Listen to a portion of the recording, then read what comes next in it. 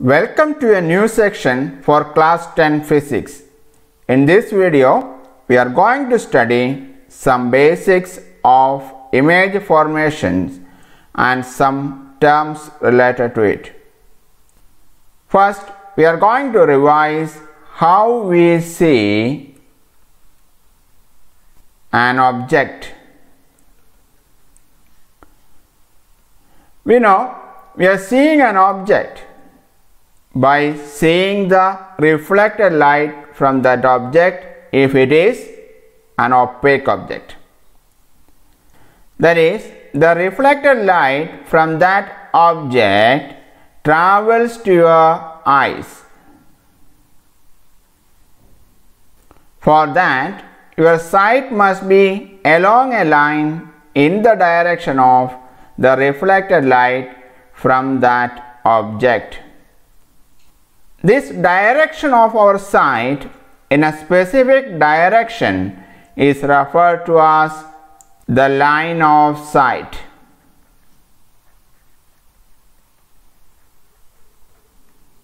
So, if you want to see an object, then you must be in the line of sight. Now, we are going to see how we can see an image. We know light emanates from an object in variety of directions and this we call ray of lights. So some of these lights reaches the mirror and reflects off the mirror according to the law of reflection. If we are in the line of sight of the image, then we could able to see the image. This is the basic concept of seeing an image. You can easily explain the image formation by plane mirrors. This you already studied in previous classes. We are now going to just revise it. Consider a mirror with a reflecting surface like this. An object is placed here. Rays of lights are emanating from this object like this. These rays will reflected obeying the laws of reflection.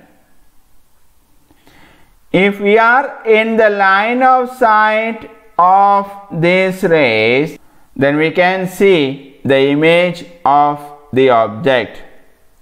That these rays are appear to be coming from a source here and that is the image formed of that object.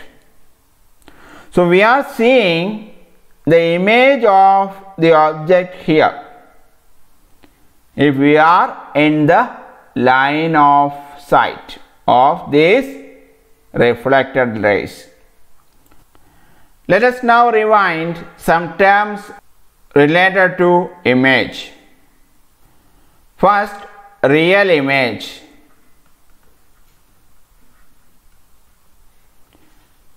What is a real image? A real image is an image when the light rays arising from a single source converges to a particular point like this. So if we place a screen here, the image will be presented on the screen. And this type of image is called real image. So this image can be really presented on a screen if you place a screen on that plane where these rays converges. Second type of image is virtual image.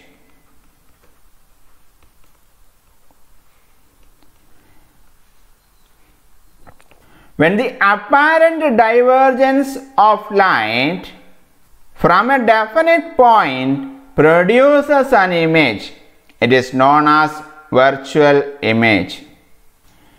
That is, if rays coming from an object is appeared to be coming from a point. So, we can see it appears to be coming from this point. Then these type of images are called virtual images. If you place a screen here on this point, you cannot capture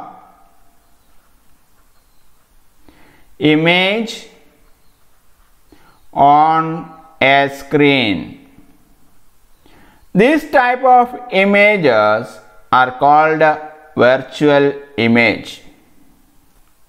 Now the third term we are going to study here is erect image.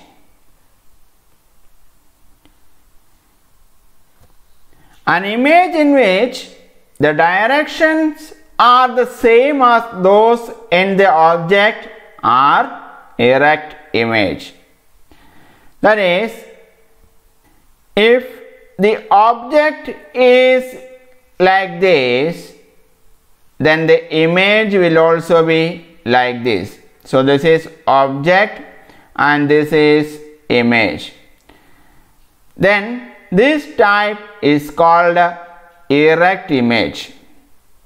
That is the directions of image are of same as that of object. Now the fourth term we are going to study here is inverted image. In an inverted image, the image is upside down when compared to the object. That is, if object is like this, then image will be upside down. This type of image are called inverted image. Now we are going to study terms related to size of image. First term is enlarged image.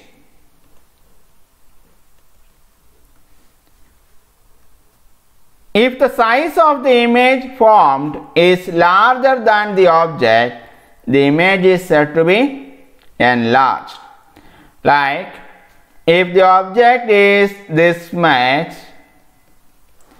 and if the image that may be inverted or erect but the size is larger than the object then this type is called enlarged image.